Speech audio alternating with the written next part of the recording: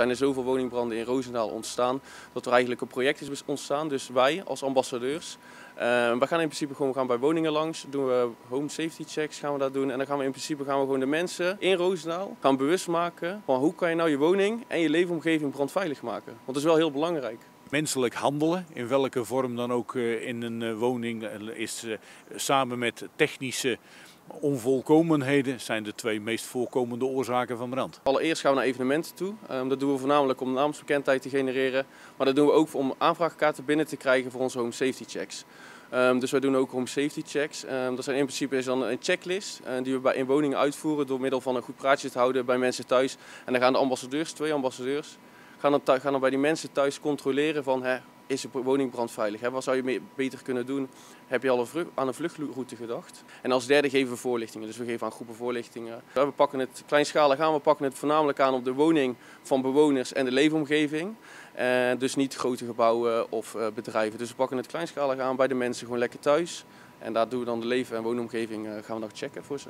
Wij eh, nemen deel aan dit soort eh, projecten. Wij verzorgen voorlichting in welke vorm dan ook om eh, de bevolking erop te attenderen wat nou ja, de mogelijkheden zijn om brand te voorkomen. Uh, nou, daar wordt in principe wordt er geleerd van hoe doe je nou home safety check.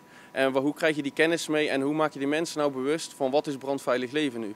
Er, er is dus echt geconstateerd dat de mensen uh, niet voldoende kennis hebben, niet, niet allemaal, maar er is niet voldoende kennis aanwezig om hun eigen woning brandveilig te maken of in ieder geval hun eigen gedachtepatronen brandveilig te maken. Dus ze hebben die, die training en daar leren ze echt precies van nou hoe doe ik zelf nou een woningcheck inrichten om uh, die mensen uh, de woningen brandveilig te maken. En dat, dat doen ze ook door middel van presentaties. En dat er, zijn een aantal mensen hier binnen de brandweer die onze ambassadeurs dan trainen.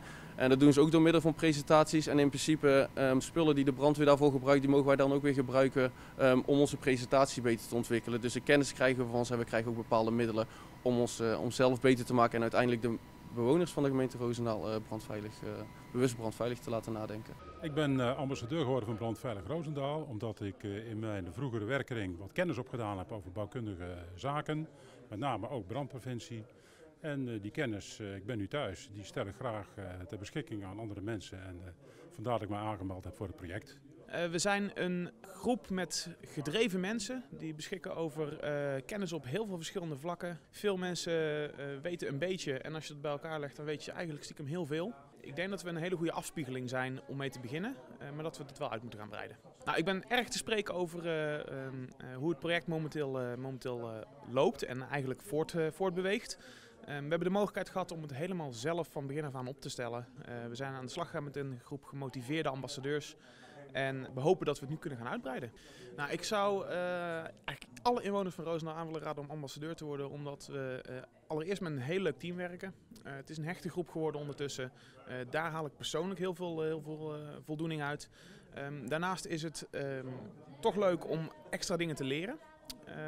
je bent nooit te oud om te leren. Nou ben ik de jongste van de groep. Maar ik vind het ook heel leuk om te, om te blijven leren. Uh, en je kunt iets, iets terug betekenen uh, of iets terug doen voor, voor overige inwoners. Ehm, je hebt een keer iets anders om over te praten op de buurtbarbecue. je leert nieuwe mensen kennen. Um, en zo komt je sociale kring ook meer tot bloei.